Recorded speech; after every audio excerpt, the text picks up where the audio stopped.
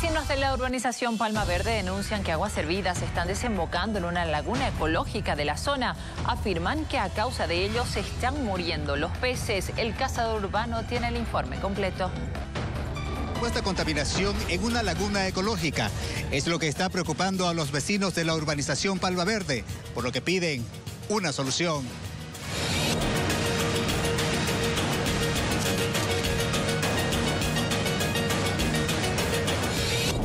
Hay muchos peces ya que están muertos a la orilla de la laguna. La laguna afectada es ecológica y está ubicada en la urbanización Palma Verde, zona de la Pampa de la isla. Los vecinos indican que el agua estaría contaminada por lo que hay mortandad de pez.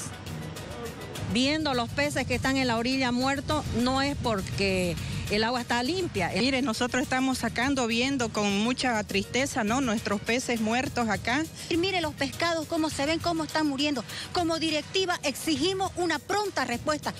Esta situación sería a consecuencia de aguas servidas que salen de una alcantarilla en la avenida Montecristo y que va directamente a la laguna. Es como un grifo que ellos cuando necesitan destapan y listo, esa agua sale, no, eh, eh, no, no es una vez. Tomen conciencia ellos y que hagan algo de una vez por todas.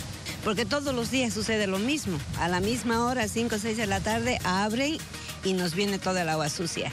Pedir que por favor solucionen y lamentable que se tenga que llegar a, a, presionar de esta manera, ¿no? Estamos preocupados. Es una laguna que tiene vida esto, por favor.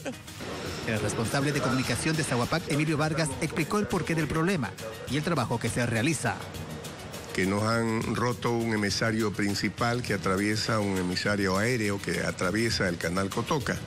Entonces, este hecho provocó el rebalse de las aguas servidas.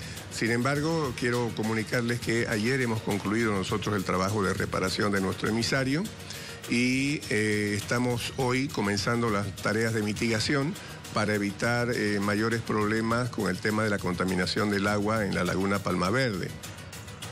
Escuchada la denuncia y posición del vocero de la cooperativa de agua, seguiremos atentos a las denuncias de los vecinos.